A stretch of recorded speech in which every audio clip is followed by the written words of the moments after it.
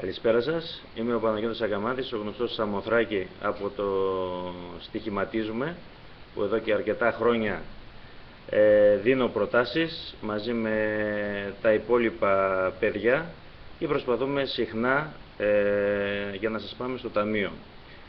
Ε, έπειτα από πολύ καιρό και από κάποιες δυσκολίες, λόγω υπηρεσιών, λόγω δουλειάς, λόγω οτιδήποτε, ξανά εδώ πέρα για να προσπαθήσουμε και σήμερα να δώσουμε εκείνα τα σημεία, εκείνες τις προτάσεις που θα σας οδηγήσουν ξανά στο Ταμείο. Να επαναλάβω ότι την προηγούμενη φορά που είχαμε ξαναμιλήσει είχε δοθεί ένα σύστημα 2-3, καταφέραμε και πιάσαμε τα δύο σημεία από τα τρία, ε, δεν μπόρεσαμε το απόλυτο ε, βάλαμε κάτι στη τσέπη μας και συνεχίζουμε στο ίδιο μοτίβο. Ξεκινώντας σήμερα από Ιταλία 2 για την ε, ακρίβεια ε, έχω ξεχωρίσει ε, δύο παιχνίδια. Ένα είναι από την Ιταλία 2 που είναι το παιχνίδι Βιτσέζα Τραπάνι. εδώ πέρα βρίσκω και σαν απόδοση αλλά και σαν έδρα ε, τον Άσο πάρα πολύ καλό σημείο. Οπότε κρατάμε ε, στο κουπόνι το ελληνικό το 131 Βιτζέντζα Τραπάνι στον Άσο. Ε, συνεχίζοντας για Ιταλία πάμε στο σημείο 200 ε, του κουπονιού ε, Κάλιαρη Σάσου ε, μια Κάλιαρη που θέλω να πιστεύω ότι θα πάρει και σήμερα το παιχνίδι. Περισσότερο ε, κλείνω προς το over αν και η απόδοση δεν είναι τόσο ικανοποιητική στον ΟΠΑΠ 1,70 εκτός όμως μπορείς να το βρεις και σε μεγαλύτερη απόδοση.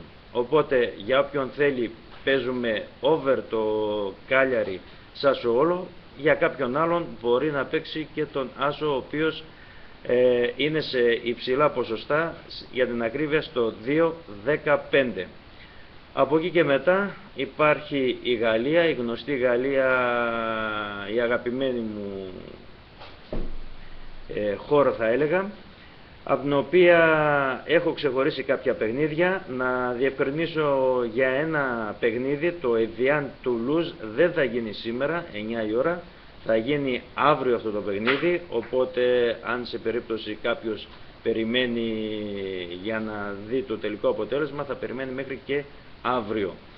Οπότε από εδώ πέρα έχω ξεχωρίσει το παιχνίδι Μπαστιά Μπορτό, ε, εδώ θα πάω στην έδρα, καλύπτομαι όμως με το Χ, με το σημείο της ισοπαλίας, ε, μη και τυχόν ε, κολλήσει το παιχνίδι στο 1-1 ή 2-2. Οπότε άσοχη για αυτό το παιχνίδι. Μομπελιέ Νάντ. Μομπελιέ Νάντ εδώ θα πάω με ρισκαδόρικο σημείο, πάω με την ισοπαλία. Ε, 3-10 στον ΟΠΑΠ, ένα πολύ καλό σημείο. Θεωρώ ότι κάπου εκεί θα μοιράσουν ε, τους βαθμούς και τις εντυπώσεις.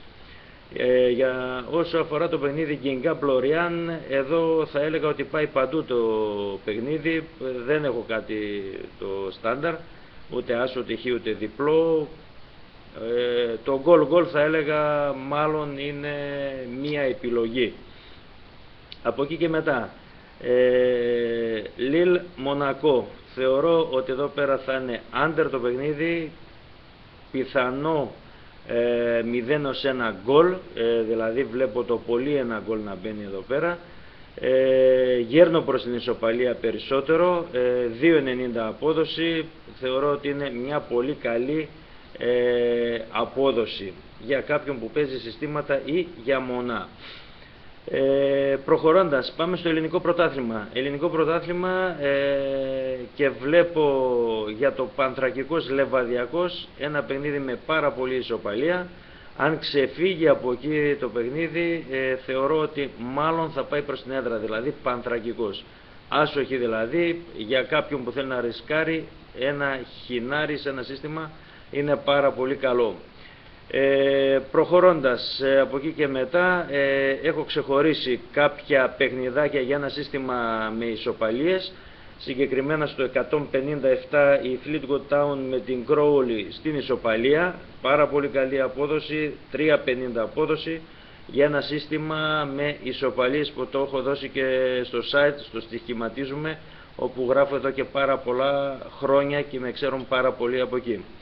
Ένα δεύτερο σημείο, ε, είχα την Montrose το 194, Montrose Albion Rovers το Χινάρι, για όποιον δεν θέλει να το βάλει μέσα στο σύστημα μπορεί να το αποφύγει αυτό να πάει στο επόμενο που είναι το 196 που έχω τη Λίλ Μονακό στο Χινάρι 2,90 απόδοση.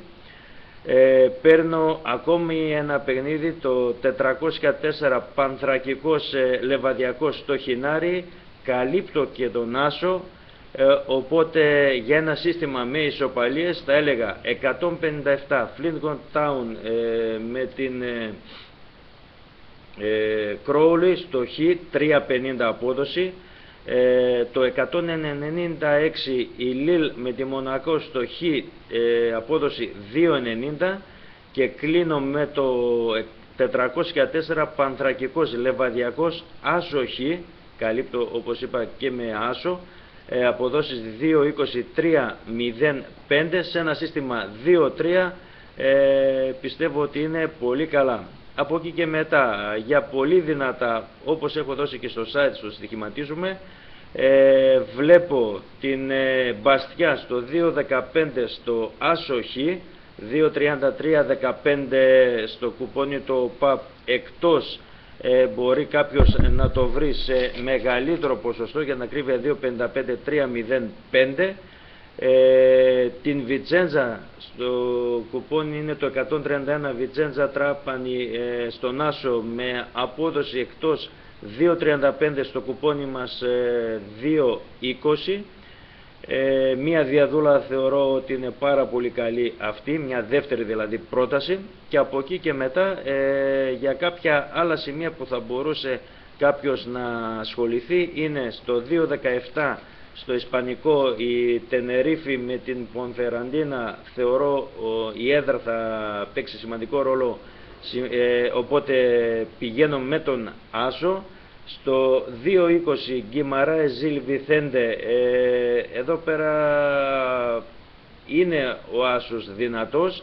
1.45 απόδοση δεν με ικανοποιεί τόσο πολύ οπότε θα έλεγα ότι ίσως να πήγαινα με ρίσκο στο χ ημίχρονο άσο τελικό ή βάζουμε ε, μόνο το χ ημίχρονο μια πάρα πολύ καλή ικανοποιητική απόδοση. Και κλείνω με ένα Ολλανδέζικο το 2-19 ε, η Χέρεφεν ε, που παίζει με την ε, Φίτεσε εδώ θα συμφωνήσω με τον Μερλίν θα πάω με τον Άσο της Χέρεφεν θεωρώ ότι θα πάρει το παιχνίδι έστω και με ένα 0 ένα καλό ποσοστό 2.35 στο κουπόνι του ΟΠΑΠ ένα πάρα πολύ καλό ποσοστό. Τώρα, από εκεί και μετά, ε, δικές σας είναι οι επιλογές που θα κάνετε εσείς, τι θα επιλέξετε. Ε, οι δύο προτάσεις που δόθηκαν θα τις ξαναεπαναλάβω για να σας βοηθήσω. Ένα σύστημα με χινάρια, το 157 η Fleetwood στο χινάρι, 196 τη Λίλ στο Χινάρι και 404 Παντρακικός Άσοχη σε ένα σύστημα 2-3. Από εκεί και μετά κάποιος που θα μπορούσε να ρισκάρει περισσότερο θα μπορούσε να βάλει και το 2-14 τη Μομπελιέ Χινάρι. Και μία διαδούλα, ε, η Μπαστιά το 2-15 Άσοχη και το 131 η Βιτσέντζα στον Άσο για κάποιον που φοβάται τη Βιντσέζα θα έλεγα το, στο 200 την Κάλιαρη στο over. Αυτά για σήμερα. Ε, αύριο δεν θα είμαστε ζωντανά. Θα ίσως δοθούν κάποιες προτάσεις για να έχετε κατά νου και από εκεί και μετά τα ξανασυζητάμε την άλλη εβδομάδα. Σας ευχαριστώ και πάλι ο Σαμοθράκη από την Web ε, Citizen TV.